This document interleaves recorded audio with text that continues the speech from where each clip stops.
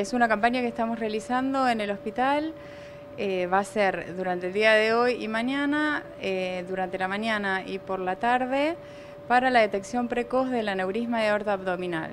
Es una campaña que, que está avalada obviamente por el Ministerio de, de Salud y por las autoridades del hospital y la idea es poder brindarle a la población la posibilidad de hacer el diagnóstico precoz de esta patología que es una patología que tiene una alta mortalidad.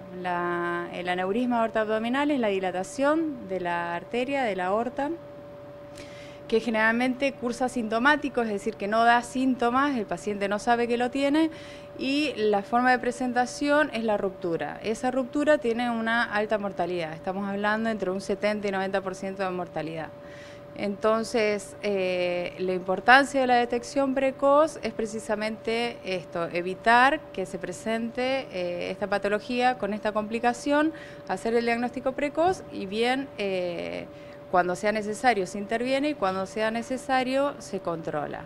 Bien, ¿cómo es el, chequeo para poder llevar adelante esta detección? Bueno, el procedimiento eh, de screening se basa en un interrogatorio y en una ecografía abdominal que se hace, que es un método eh, que no es incruento, o sea que es, no es invasivo y se hace en cinco minutitos, eh, o sea que el paciente no tiene que tener preparación previa, o sea es, muy sencillo. Lo que tienen que hacer es acercarse para que nosotros le podamos eh, ofrecer este servicio, hacer la ecografía y en el momento se diagnostica si tiene o no un aneurisma y si es necesario controlarlo o si hay que hacer algún otro estudio. Doctora, eh, ¿a partir de qué edad se recomienda llevar adelante este estudio? A partir de los 65 años, hombres y mujeres, si bien es más frecuente en varones, eh, que tengan antecedentes de obesidad, colesterol alto, eh, tabaquistas actuales o previos.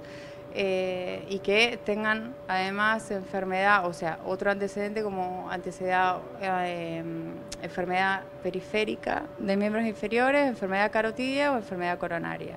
Eso básicamente son los, los pacientes a los que deberían acercarse para que nosotros le podamos hacer la detección precoz del aneurisma. ¿La forma de prevención puede tener que ver con los hábitos saludables? Claro, claro, como todo, ¿no? Eh, la alimentación, el ejercicio, la suspensión del hábito tabáquico, todo eso va a, fomentar un buen control de la tensión arterial, obviamente eh, disminuye el riesgo de tener esta patología.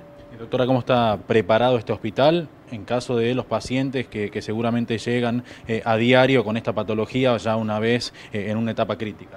Bueno, nosotros contamos con el servicio de hemodinamia y con eh, ahora estamos armando el servicio de, cirugía, eh, ya hay un servicio de cirugía vascular, o sea que nosotros eh, afrontarlo, podemos afrontar estos pacientes, pero sin olvidar que la mitad de los pacientes que se complican con una ruptura de aorta no llegan al hospital, por eso es la importancia de la detección precoz. Y del el otro 50% que llega al hospital, el 25% evoluciona mal, a pesar del tratamiento que uno le puede dar.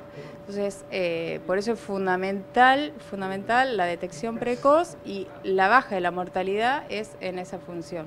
Por último, recordemos los días y horarios, por favor, de, esta campaña y la invitación a todos. Bien, es eh, hoy y mañana de 9 a 1 y de 15 a 19.